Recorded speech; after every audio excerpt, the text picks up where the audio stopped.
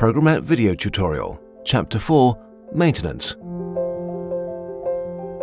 In this part, we will demonstrate how to look after your Programat furnace. We will explain how to perform temperature calibrations, data backups, software updates, and device diagnostics.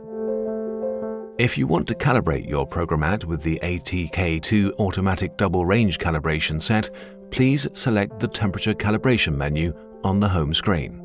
The display now shows the values and the date of the last calibration. If you want to perform a new calibration, simply press the Start key.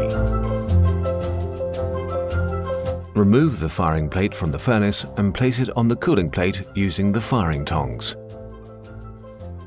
Carefully grip the upper part of the ATK2 automatic temperature checking set and insert it into the opening using the firing tongs. Apply slight pressure to the center of the calibration base until the ATK2 sample clicks into place. Repeat this procedure a few times to prevent contact problems. Please also observe the instructions enclosed in the ATK2 set. Start the calibration program. Wait until the program has been completed. Then open the furnace head and remove the ATK2 sample using the firing tongs and place it on the cooling plate. The ATK2 sample can only be used once. Use a new ATK2 for the next calibration. Your Programat is now calibrated and ready for new applications. You can conveniently back up your personal furnace settings and individual programs on a formatted USB flash drive. Select the Data Backup menu on the home screen connect a USB flash drive to your furnace. Press the Execute button. The device will now save your personal data. Please do not switch off your furnace or remove the USB flash drive while data is being saved. Your personal settings and the individual programs have now been saved. If you want to restore settings and individual programs, press the respective button in the Data Backup menu the device will now restore your data. Please do not switch it off or remove the USB flash drive while data is being restored. Your settings and individual programs have been successfully restored. It's very easy to update your software with a USB flash drive. You can download the most recent software version for your Programat from www.ivoclar.com Save the file to a USB flash drive. Connect the USB flash drive to the Programat. Select the Software Update menu on the home screen. If an update file is available on the USB flash drive, it will now be displayed on the screen. Press the Execute button to start the update. The furnace will now download the most recent software version. Do not turn off the device or remove the USB flash drive while the update is being downloaded.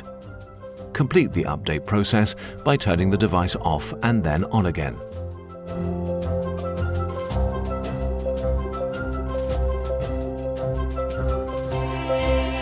The Diagnosis menu offers many functions which will assist you in case any errors occur with the furnace. Select Diagnosis menu on the home screen you will find the individual test programs in the Tests menu. The vacuum test verifies the performance and tightness of the vacuum system. The heating test examines the quality of the heating muffle. The display test searches for pixel errors and the OSD test checks the optical status display. The keypad test checks the functionality of the touchscreen and the keypad. In devices with infrared technology, the IRT test verifies the functionality of the infrared camera. If an error message occurs, it will be saved in the error list and can be called up at any time.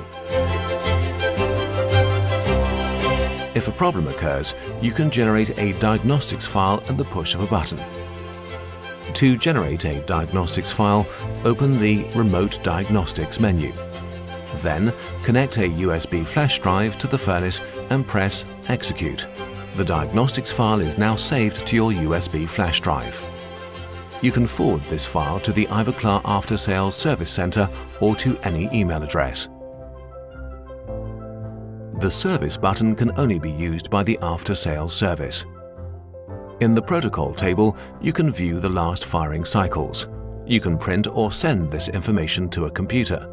However, this function is only available if it has been activated previously in the settings menu.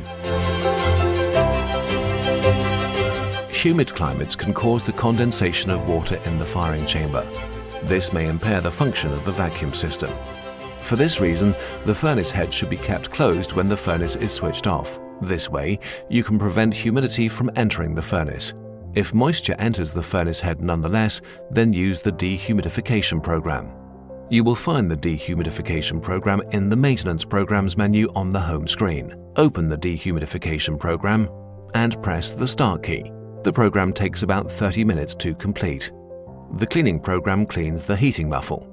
You will find the cleaning program in the Maintenance Programs menu. Simply open the program and press the Start key. The program takes about 20 minutes.